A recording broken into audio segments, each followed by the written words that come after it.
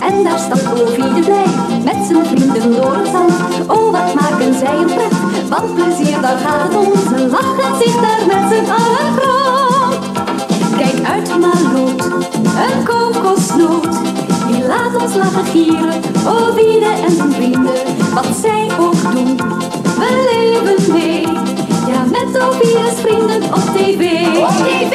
Het eiland is een speelterrein.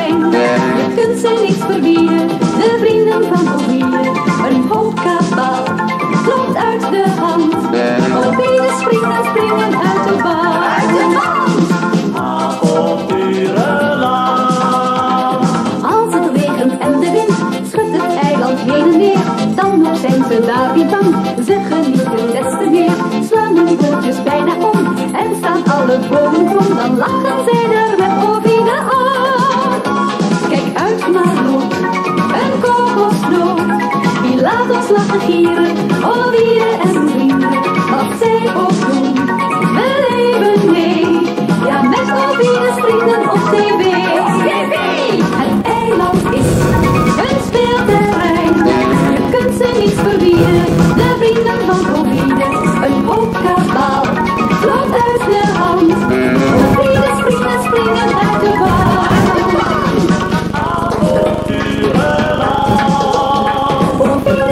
springen uit de baan. Ovide, het vrolijke vogelbeekdier, leeft op zijn kleine eiland midden in de oceaan.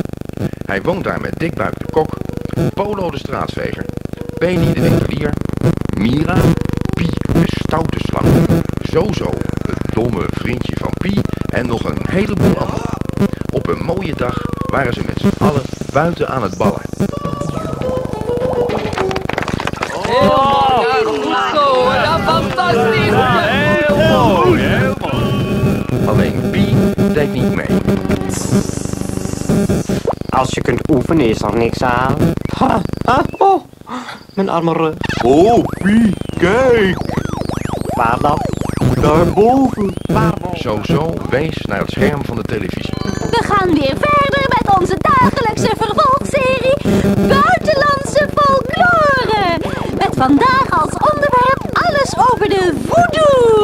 Dokter Voodoo, waartoe dienen die kleine wassen beeldjes met die spelden erin? Dat is een betovering om je vijanden pijn te laten lijden. Je neemt een beeldje dat er net zo uitziet als een slachtoffer. Je verwerkt er iets in van het lichaam van het slachtoffer. Haren of veren, wat je maar wilt. En je prikt erin. Dat is een ideetje. Oh, oh, oh, mijn spit komt weer op. Pie verzon een duivels plannetje om Ovide en zijn vrienden weer eens dwars te kunnen zitten. Zien. Zo, zo. Zo, zo. Zeg eens zo, zo. Je hebt een heel goed oog voor kunst. Wat is dat daar? Eh, een mislukte pinda. Een pin? Zie je dan niet meteen dat dat Ovide is? Oh ja, zoveel weet ik niet van moderne kunst. Een pindanootje. Hier, Ovide, hier. Oeh, oeh, oeh, mijn spit weer. Pie prikte met een speld in de pinda, alsof het een beeldje van Ovide was. Ah, wat is het zwaar voor een artiest die niet begrepen wordt. Hé, maar wat is, is, is, is, is dat daar? Wat een wonderschoon landschap. Wat een inspiratie. Een vreemde bezoeker was op het eiland aangekomen. En Pie had hem als eerste gezien. Het leek wel een kunstenaar of zoiets. Want hij haalde een prachtig schilderij uit zijn koffer. Ik voel dat ik hier eindelijk tot mijn recht zal komen. Creëren. Als nooit daarvoor. Een artiest? Maar als dat inderdaad waar is... Oh, dat is gewoon fantastisch. Oh, vindt u dat werkelijk? Kom, kom, onderschat de mening van een bewonderaar niet. Oh ja, natuurlijk. Uh, de grote kunstschilder. Piet, geleerde en kunstkenner. Het is me een eer u in mijn galerie te mogen ontvangen. Ik wil u niet tot last zijn. Ach, kom, ach, kom. Ehm, loop, jongen. De bagage van meneer Gigot. Kom mee, beste vriend. Zeg eens, hoe zit het met beeldhouden? Oh, ik maak wel eens wat, maar alleen personen. Uitstekend, uitstekend. Dat komt prima uit. Pie hoopte dat Gigot van Alvide en zijn vrienden een beeldje wilde maken. Dan kon hij erin prikken en op die manier zijn vijanden pijn bezorgen. U wil dus van iedereen hier een beeldje hebben? En ja, inderdaad. Ik wil ze met een klein cadeautje verrassen. En het geld doet er niet toe, meneer Gigot. In orde. Gigot beloofde Pie dat hij de beeldjes zou maken. En hij ging meteen enthousiast aan het werk. Ah, aan de arbeid. We zullen u rustig laten werken.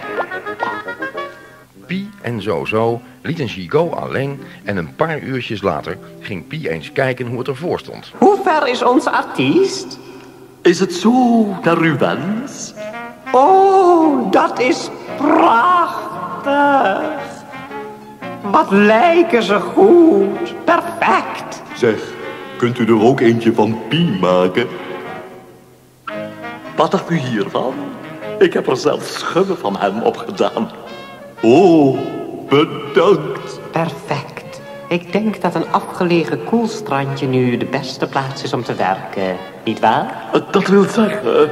Dat dacht ik al. Komt u mee. Ik zal u de weg wijzen. Pie had zijn zin. Van Ovide, van Dikbuik en van Peli en Polo had hij nu de beeldjes.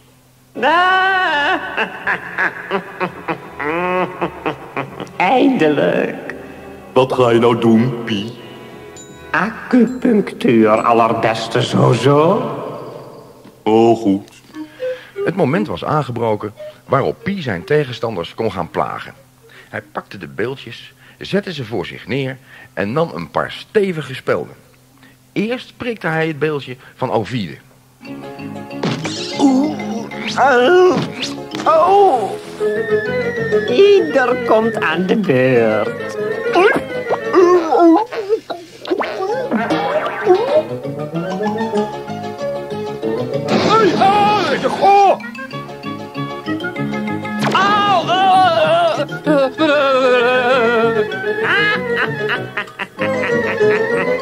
En nu steken we deze erin.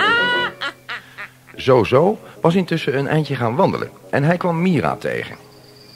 Hallo, zo-zo. Hallo, Mira. Zeg, weet jij wat acupunctuur is? Acupunctuur? Wil je dat ik uitleg wat dat is? Ja, alsjeblieft. Zo maken ze je met speldenprikken gezond. Wie die aan acupunctuur doet, wat heeft dat te betekenen? Mira vertrouwde het niet en ze liep naar de plek waar Pie moest zijn. Intussen was Pie nog steeds aan het prikken. Hier, hier, Ovide. Hier, hier, dikbuik. Hier, Peli. Ik ga eens even naar het resultaat kijken. Pie was nog maar net weg toen Mira de beeldjes en de spelden zag liggen. Ah, nu begrijp ik het. Maar Polo, Peli, Dikbuik en Ovide begrepen het nog niet. Maar wat zou er nou met ons gebeurd zijn? Ik weet het niet, misschien is het een epidemie. Raad maar niet langer. Pie was jullie ziekte. Wat blief? Wat blief? Mira legde uit wat Pie had gedaan. Met z'n allen liepen ze naar de plaats van de misdaad. Het enige wat ik niet begrijp, is dat die beeldjes zo goed lijken. Hmm, daar moet een reden voor zijn. Om zich voor te bereiden op zijn volgende tentoonstelling... heeft de schilder Paul Gigot het eiland van Ouvide uitgekozen om inspiratie op te doen. Toen wisten de vrienden genoeg. Ze namen de beeldjes mee en zochten de schilder op. De galerie van Pi is failliet gegaan. Daarom kan hij u niet uitbetalen. Dus wij geven u uw werk terug. Oh nee, u mag ze houden. In ruil vraag ik of ik een portret van u mag schilderen, juffrouw. En Pie, wat doen we daarmee? Wow. Mijn beeldjes. Ze hebben mijn beeldjes gestolen. Mijn beeldjes, zo zo. Waar zijn mijn beeldjes? Au, au, au, au, au, mijn spet. Arme Pie. Hij heeft pijn. Vlug. Acupunctuur. En zo zo stak zo hard als hij kon met de spelden in het beeldje van Pie. Het resultaat was pijnlijk. Heel pijnlijk. Blauw. Oeh.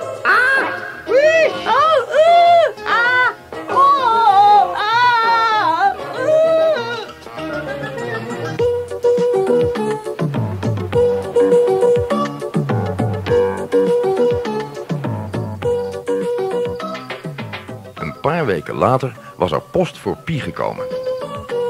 Hé hey, Pie. Dit is voor je met de post gekomen. Een kaart uit Egypte? Oh, hij is van mijn neef. Myopie, de brilslang. Heb je dan een neef? Ja.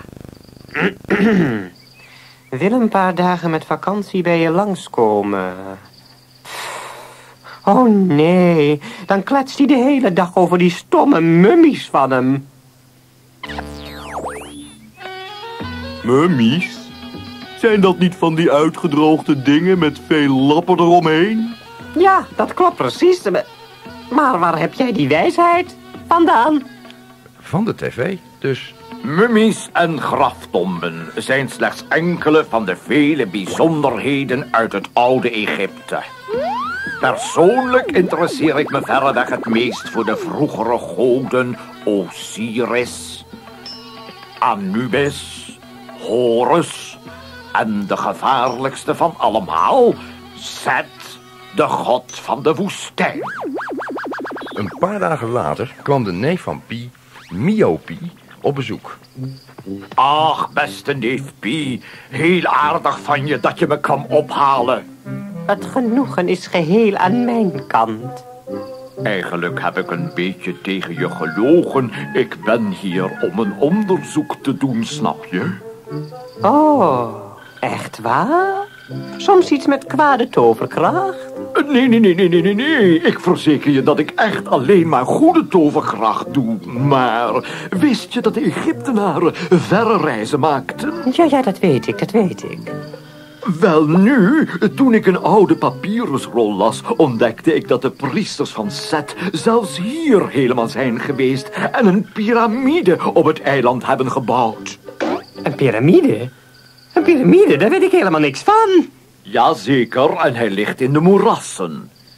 Pie en Zozo gingen met Myopie mee naar de moerassen op zoek naar de piramide. Eens kijken. Ja, hier is het.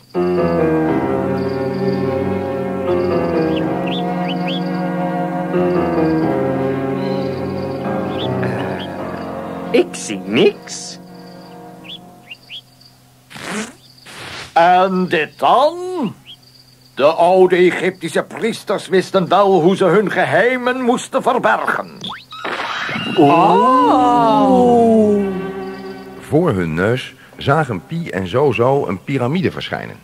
Ze keken hun ogen uit en wilden met één naar binnen gaan. Volg jullie gids maar. Opgepast, ik zal nu eerst de geheime vallen van de priesters onschadelijk maken. Let op.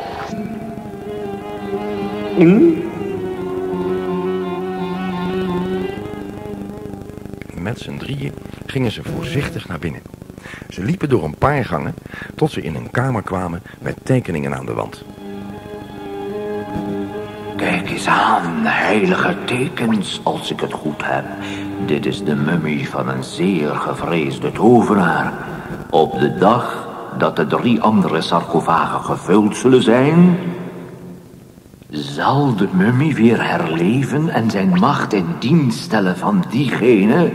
die hem hebben gewekt. Oh, dat is interessant. Ja, het zou een leuk experiment zijn. Het vervelende is alleen dat ik niet weet hoe ik aan drie mummies moet komen. Misschien heb ik een idee. Pie en Zozo liepen door de gangen terug naar buiten en Pie stuurde Zozo erop uit. Zozo ging met één naar Peli, de winkelier. Verband om te verbinden? Ja, dat heb ik wel. Is het voor jou? Eh, nee, het is voor Pie. Heeft hij in zijn staart gebeten? Nee, eh, eh, hij heeft zijn arm gebroken. Daarna sloop Zozo naar de boom waar de drie koala-beertjes, Ko, A en La, lagen te slapen. Hij stopte ze in een grote zak en rende toen terug naar Pie.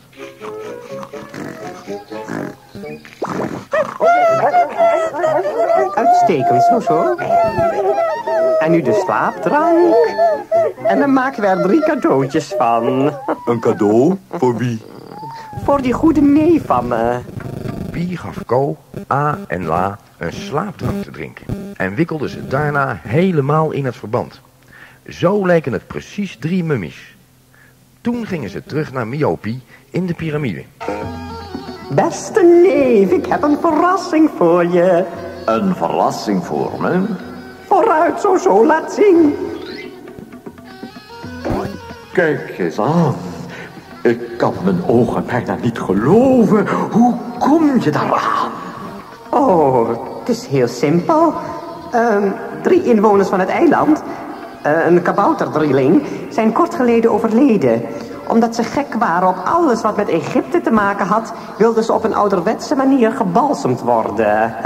Vandaar. Het is echt werkelijk heel erg toevallig. Zeg dat? En ik dacht dat ze het wel leuk zouden vinden om in een echte Egyptische piramide meteen te worden bijgezet. Mooi. Nou, beginnen we met het experiment. Goed dan, we gaan het proberen. Maar in het dorp miste Mira plotseling de drie koala-beertjes. Heeft iemand de koala's gezien? Wat raar. Ze komen bijna nooit van hun tak af. We onderbreken de uitzending van het concert voor een extra speciaal nieuwsbericht. De piramide die midden in het moeras is verschenen, zou een echte Egyptische piramide zijn. Maar we weten nog niet of er in de graftombe misschien een mummie van een belangrijke koning ligt. En dat over die mummie? Dat doet me denken aan het verband dat zo vanochtend gekocht heeft. Verband, zeg je? Voor wie dan? Voor hem? Nee, nee. Dat dikke uilskuiken zei dat het voor Pie was die zijn arm had gebroken. Pie, die heb ik vanochtend nog gezien. Hij vroeg me om een slaapmiddel tegen zijn slapeloosheid, maar verder leek hij me wel kerngezond. Hmm. Ik geloof dat we die piramide maar eens van dichterbij moeten bekijken. In de piramide hadden Pie, Miopi en Zozo de drie koala-beertjes in de drie lege sarcofagen gelegd. O eerwaarde, word nu wakker, grootpriester van Zet. En luister toch naar onze oproep.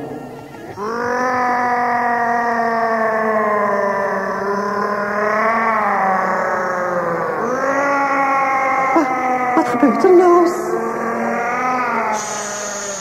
Ik luister.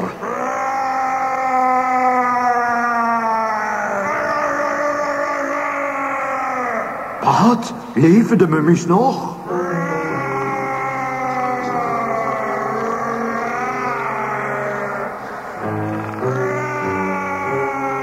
Het is waar. Intussen waren Ovide en zijn vrienden in de piramide aangekomen. Ze bereikten de kamer net toen de zogenaamde mummies door Miopi uit hun verband werden gerold.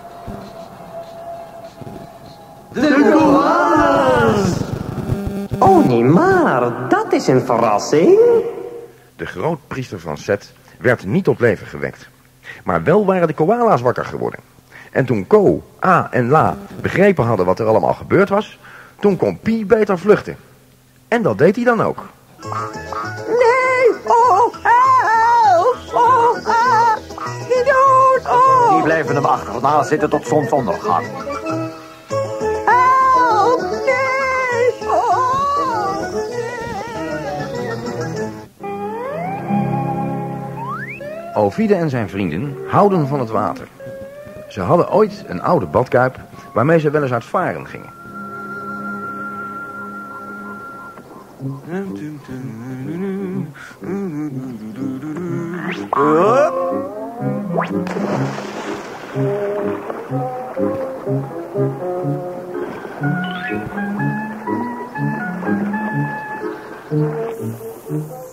Belachelijk.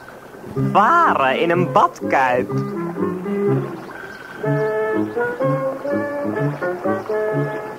Misschien kan hij hem niet kwijt in de badkamer. Mond dicht en kom mee. Pie en Zozo gingen naar een grote poel waarin vies, stinkend water zat. Vol modder, rommel en dode waterplanten. Nou, wat vind jij ervan? Ja, Hoezo? Zie je dan niet, voel je dan niet de sombere, droeve poëzie die uit dit dode water opstijgt? ik niet. Ik vind het hier stinkende... Nou... Oh, moet je zien, Pie. Een badkuip.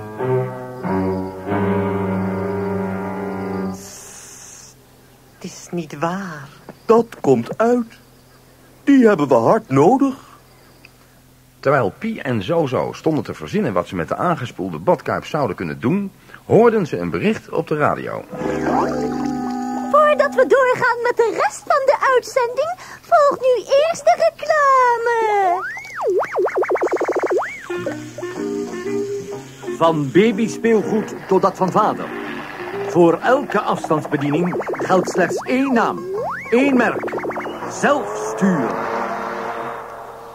Dat bracht Pie op weer een van zijn snode plannetjes. Zo, zo, wij nemen die badkuip met ons mee naar huis. Wij? Jij, ja. Jij zag hem toch als eerste, hè? Dat wel. Nou dan. Zozo sjouwde de badkuip mee naar huis en Pie liep naast hem, zijn nieuwe plannetje uit te broeden. Zodra ze thuis waren, pakte hij pen en papier.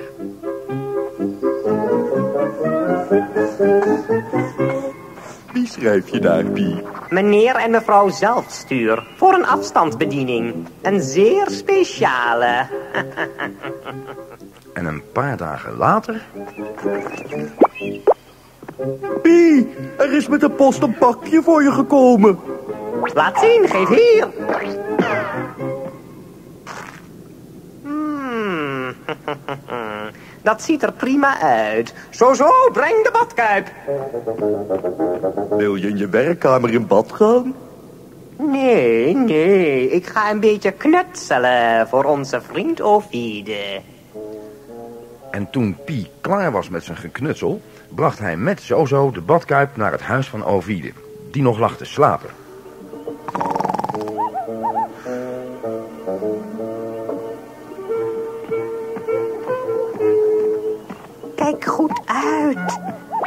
Stil. Oh, ah, kijk toch eens uit, idioot. Sorry hoor. Ik had je niet gezien. Goed, het geeft niet. En nu aan de slag. De verwisseling moet nu volkomen perfect zijn, begrepen? De wat? Je ruilt onze badkuip om met de zijne. Waarom nou?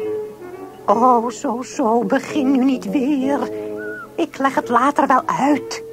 Best hoor. Zozo haalde Ovides badkuip weg en zette die van Pie ervoor in de plaats. Nu hoefde hij alleen maar te wachten totdat Ovide uit varen ging. En dat gebeurde al heel vlug.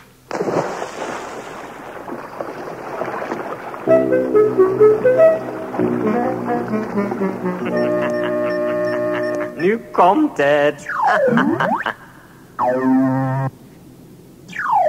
Ik, eh, ik vond onze veel mooier. Attentie, start.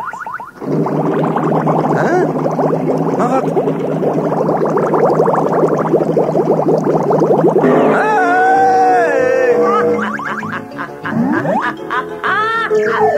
Wat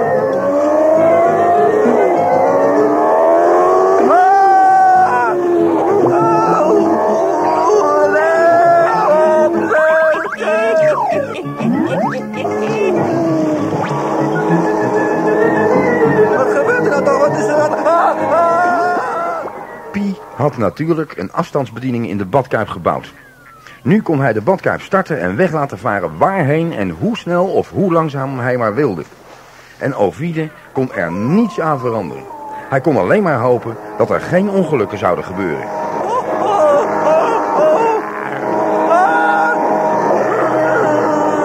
Dit gaat uitstekend. Op een gegeven moment scheurde de badkuip met Ovide vlak langs Zozo, die net een ijsje zat te eten. Het domme vriendje van Pie schrok er zo van dat hij zijn ijsje uit zijn handen liet glippen bovenop het afstandsstuurapparaat van Pie. De badkuip sputterde en even later lag hij stil in het water. Oh jee. Wat een tocht was dat, zeg. Maar... Maar dat is mijn badkuip helemaal niet. Wat? Die stommeling, zie je wat je gedaan hebt? Ik kan hem niet meer besturen. Zonde nou. Zo'n lekker aardbeienijsje. Toen Ovide weg was, tilden Pie en Zozo de badkuip uit het water. Ze gingen er even in zitten, maar dat ding begon ineens uit zichzelf te rijden. Laat me los! Kijk uit! Help, ik wil eraf!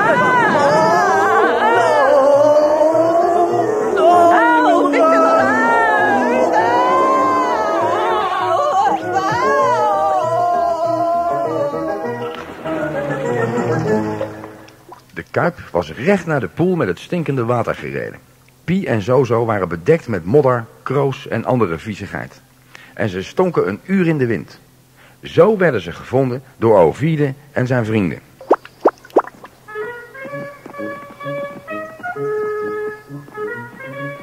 Denken jullie ook niet dat groene zeep hen heel erg goed zal doen? Oh ja! Maar allereerst...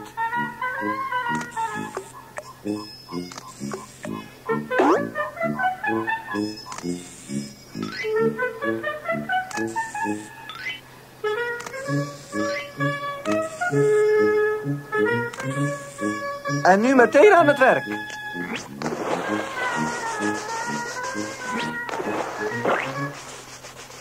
Toen Pie en Zozo helemaal schoongeschropt waren, gingen de bewoners van het eiland tv kijken. Kom kijken, jullie komen direct op tv. TV? Wij? De uitslag van de grote wedstrijd voor nieuwsfoto's. De eerste prijs is uitgereikt aan meneer Ovide. Voor zijn prachtige foto's. Die meteen al gekocht zijn door een groot merk van schoonmaakmiddelen. Oh, Pie, kijk eens. Dat zijn wij. We zijn op de tv.